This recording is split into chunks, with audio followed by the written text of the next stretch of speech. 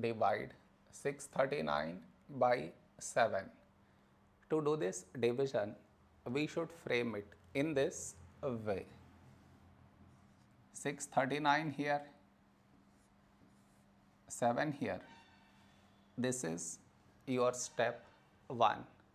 Next, here we have 6, here 7. 6 smaller than 7. So we should take two numbers 63. When do we get 63? In 7 table. 7 nines 63. Now we should subtract, we get 0. After this, bring down the beside number. So 9 down, so 9.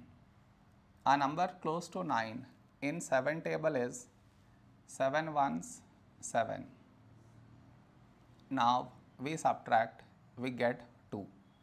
After this, no more numbers to bring it down. So what we do is we put dot, take 0. So 20.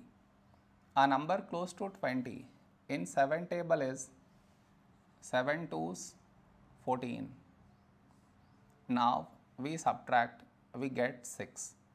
After this, we already have the decimal, so directly take 0, so 60.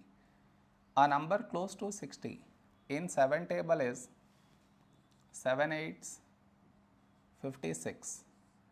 Now we subtract, we get 4 and the division continues. It is enough if we do up to 2 decimal places